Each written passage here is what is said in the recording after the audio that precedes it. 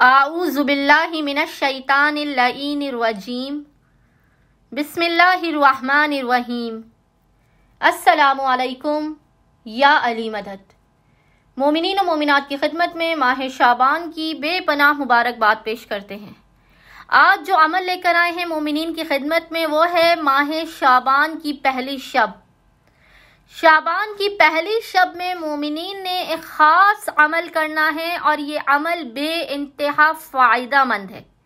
बे इंतहा मुजरब तरीन है कबूलियत हाजत और हल मुश्किल के लिए कोई गाफिल ही होगा। कोई ना जानने वाला ही होगा जो इस अमल की बरकत, इसके फ़वाद को ना जाने और इस अमल को ना करे। बे इंतहा मुजरब तरीन अमल है जिसे मोमिन ने माह शाबान की पहली शब में करना है। मोमिनीन ने सबसे पहले बारह रकत नमाज़ पढ़नी है। बारह रकत नमाज़ आपने दो दो रकत करके पढ़नी है। बे इंतहा आसान तरीन ये नमाज़ है। दो दो रकत करके आपने बारह रकत नमाज़ पढ़नी है, जिसकी हर रकत में आपने अलहमद के बाद ग्यारह मरतबा सूरह इखलास की तिलावत करनी है।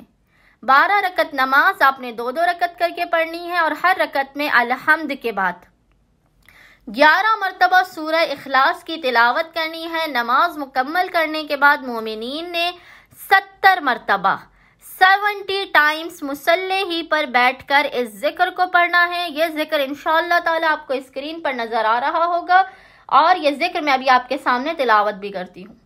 वो ज़िक्र क्या है जिसे मोमिन ने मुसल्ले ही पर बैठकर बारह रकत नमाज़ के बाद सत्तर मरतबा पढ़ना है? वो ज़िक्र है, अस्तगफिरुल्लाहल्लज़ी।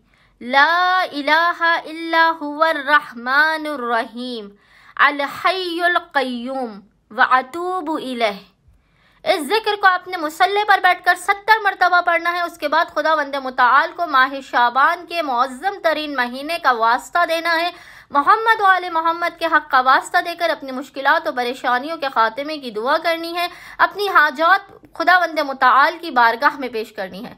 खुदा वंद मताल इस बाबरकत महीने के सदक़े में, मोहम्मद वाले मोहम्मद के सदक़े में, इस महीने में आने वाली आमदों के सदक़े में, खुशियों के सदक़े में मोमिन की तमाम हाजात लाजमन कबूल व मकबूल कर देगा। उम्मीद करते हैं मोमिन और मोमिनत की अक्सरियत माह शाबान की पहली शब में इस अमल ख़ास को लाजमन करेगी और हमें अपनी दुआओं में याद रखेंगे। अल्लाह सल मोहम्मद व आल मोहम्मद व अज्जल फ़राजहम अजमाइन